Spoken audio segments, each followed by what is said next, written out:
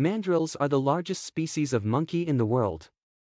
Adult males can weigh up to 80 pounds, 36 kilograms, and stand about 3 feet, 1 meter, tall. They are known for their striking appearance. Male mandrills have brightly colored faces with blue ridges, red nostrils, and yellow beards. These colors become more intense when they are excited or trying to attract mates. Mandrills are highly social animals and live in large groups called troops. A troop can consist of up to 200 individuals, although the average size is around 50 members. They have an interesting way of communicating. Mandrills use various vocalizations, facial expressions, and body postures to convey different messages within their troop. Mandrills are primarily found in the rainforests of Central Africa. They inhabit areas of Cameroon, Gabon, Equatorial Guinea, and Congo.